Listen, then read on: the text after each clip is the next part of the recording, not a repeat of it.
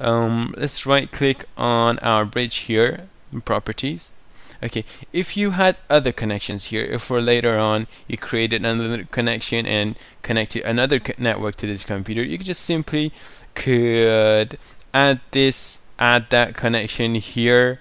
Uh, actually it is here but you just have to take it. For example uh, as soon as you just um, add the connection here and it's enabled it would be coming in the list. What you have to do just go ahead and simply just tick it and click OK and it would be added to your bridge um, network. Okay so that's about it. I think it's finished for now.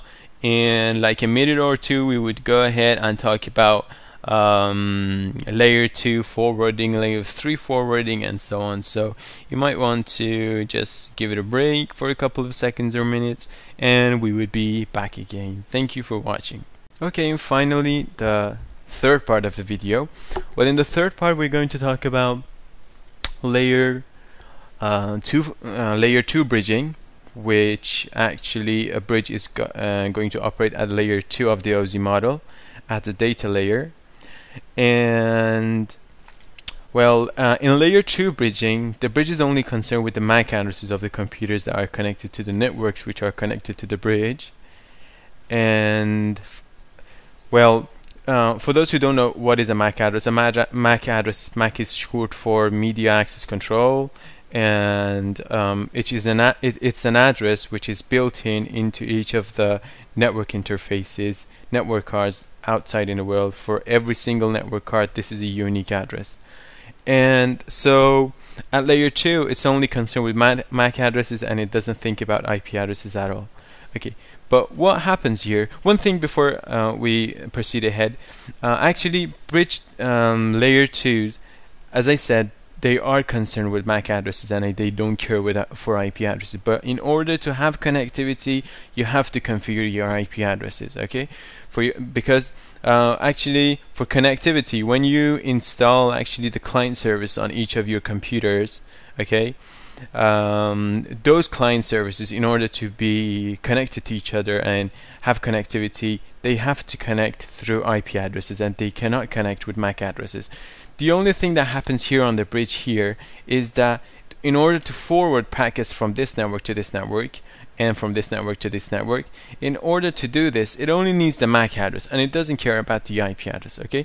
So when we say that we don't care about IP addresses and the only thing we're concerned in layer 2 bridging is the MAC address, is that for forwarding the packets through uh, the bridge actually, not about not connectivity in our network okay? Connectivity in our network we need it and for that we need the IP addresses okay? So let's go back a little bit so here we are we're going to um, forward packets from this network to this network and in reverse okay well layer 2 bridges have to support promiscuous mode actually the network cards that are connected to them should support promiscuous mode. And why, what is promiscuous mode? Well, when a computer receives a packet, for example, from this computer headed um, to this computer, this computer would simply look at the packet. If it's destinated for itself, it would just simply accept the packet and it would process it and uh, it would send it to the upper layers of the OSI model and it would finally reach its destination. Uh, the software that is supposed to use it would use it. But if it's not destinated for the for its for itself, what it would do if it doesn't it doesn't support promiscuous mode, it would just simply drop it, drop the packet, and we'll forget about it. Okay. But in a network that co this computer here is acting as a bridge, we needed to support promiscuous mode so that the packets are, for example, sent from this computer headed for this computer. They have to go through the bridge. Okay.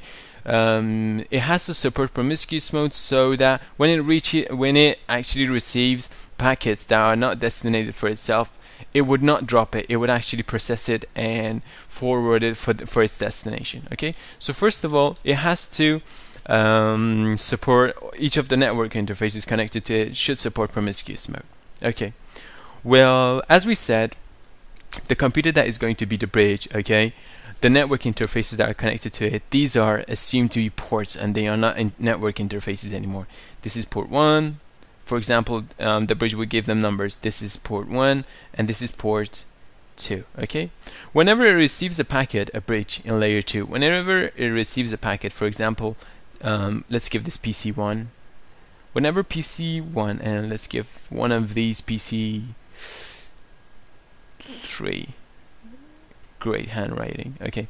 Whenever PC1 wants to send a packet um, it would send it to the switch switch would send it to the PC1 wants to send a packet to PC3 the PC1 would send it to the switch, switch would send it to the bridge, bridge would send it to the PC3. But what happens at the bridge? Okay, the bridge when it receives the packet, it supports promiscuous mode. Okay, no problem. It will process the packet that it received. But what happens is that first of all, it will look in the packet, okay, and to see if it has the MAC address of PC1. Okay, if it doesn't have the MAC address, it would create go ahead and create a table. Okay for example here. And it would enter the MAC address of PC1 here as an entry. And it would look that it's and it would look that from what port that it received it. As you see here it received the packet here from port 1 okay? So it would write the port 1 here and it would write the MAC address of PC1 here and that's it okay? If you're looking at that dynamic type that you uh, it's written there. We will talk about it later. Okay? So it will write the MAC address here and it would write the port that it received it from. Okay no problem. So one thing. If that packet is destinated for PC3 what happens is that first the sender address will be processed. Second it's the destination address. It would look okay I process the des I process the source address of your packet and I entered it in my MAC table in my L2F table. Okay Next thing I have to do, I have to look at